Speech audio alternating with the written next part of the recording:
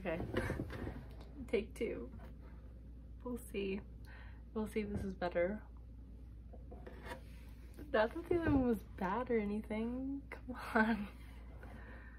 Um, yeah, like I said, this is really fun, so I hope you like it. Um,